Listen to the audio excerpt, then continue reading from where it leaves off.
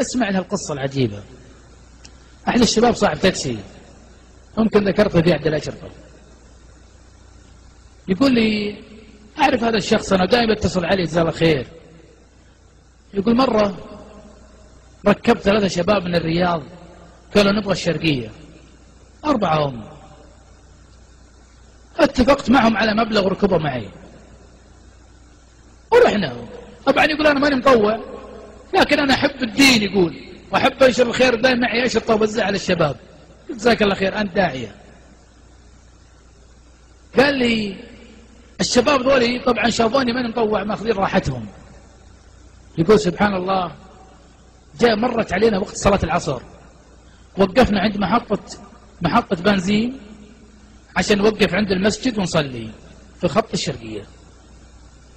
يقول قلت لهم يقول صراحة أنا كنت منحرج منهم ما أعرف يعني أحدث ولا أعرف أدعوهم ولا حفظ أحاديث يقول قلت لهم يا شباب بس وش رأيكم؟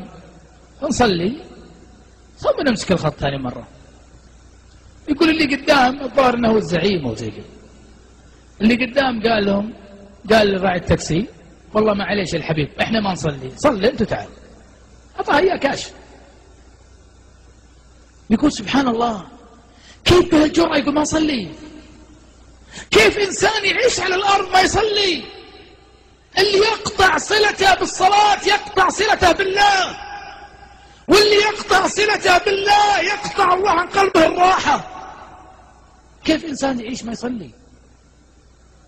يقول يقول كلام عجيب. يقول فقلت لهم يا شباب صح يعني إحنا قاعدين نرتكب ذنوب خطايا بس عند الشباب الصلاة. إذا ما صلينا وش بقى لنا في الإسلام؟ وش باقي؟ الصلاة عامود الدين إذا سقط هذا العامود سقط كل شيء. يقول سبحان الله استحى هذا اللي قدام. اللي قال ما نصلي استحى. ثبت على اخوياه ربعه. قال مش رأيك يا شباب؟ خلونا ننزل نصلي. يقول فانزلوا أربعتهم أنا خامسهم. يقول سبحان الله توضينا. دخلنا المسجد. طبعا يقول أنا مطوع حقهم. يقول فدخلت صليت بهم ركعتين. مسافر. يقول أول ما خلصت من الصلاة التفت لقيت هذا اللي قدام. مطول في السجود. واخويانا بعد ما خلصوا الصلاة يمازحونه. قالوا وش فيكم ساجد مطول؟ خلاص قم. يقول فحركناه فإذا هو ميت. والله يا إخوان. مات. قبض الله روحه. يعني كان ملك الموت موجود في المسجد وما قبض إلا فلان. يقول تخيل كل ربعه وخوياه اللي معه ما كانوا مصدقين. يقول حتى واحد منهم يجيب الموية يكبه على وجهه. يا فلان واللي يضع عند قلبه. يشوف ما زال حي ولا كيف؟ هل هو صحيح؟ مات. أم كلام. ما هم مصدقين الشباب يقول كلهم قاعد يبكون خاصة فيهم واحد يتقطع من البكاء أعظم من بكاء الطفل.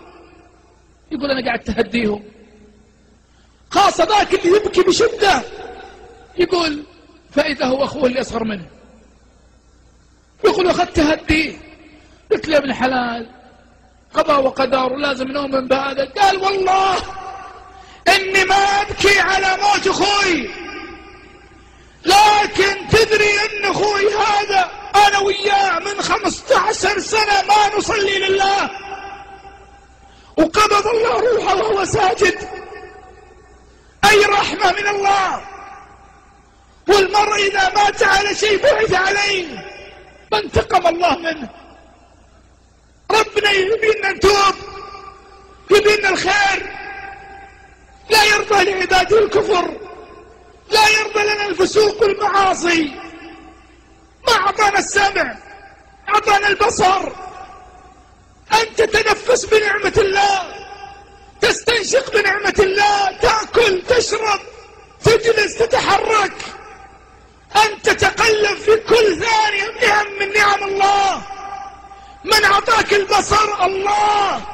غيرك ما يشوف. من أعطاك السمع الله غيرك ما يسمع. من اللي أعطاك الرجلين تروح وتجي على كيفك ما حد يمنعك. الله غيرك يا أخي ما يقدر يمشي.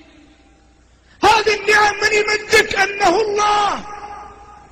يقول بلال بن سعد عجبا لمن يعصي الله بنعمة الله. كيف هؤلاء يعصون الله؟ والله يصب عليهم أنواعا من النعم. هو اللي جعلك مسلم اصطفاك من بين ملايين الناس وجعلك نطفة في رحم مسلمة. أي نعم نتكلم عنها؟ وإن تعدوا نعمة الله لا تحصوها. وين اللي يشكرون النعمة وين اللي يسخرون النعم تلك بطاعة الله. غيرك يا أخي يهودي غيرك نصراني غيرك مجوسي. غيرك يعبد النار غيرك يعبد الشجر والحجر وأنت تعبد الله الذي لا إله إلا هو.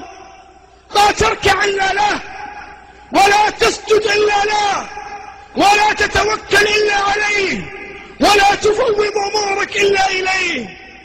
إذا فيك هم ضايق صدرك أمراض ديون هموم غموم عندك رب تناجيه عندك إله تعبده يفرج الهموم.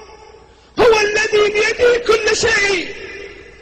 غيرك من الديانات الأخرى إذا صار له هم راح انتحر شنق نفسه قتل نفسه سقط في براثن المخدرات والمعاصي يبغى يطلع من الهموم. هذا وهؤلاء حال الذين لا يعرفون الله.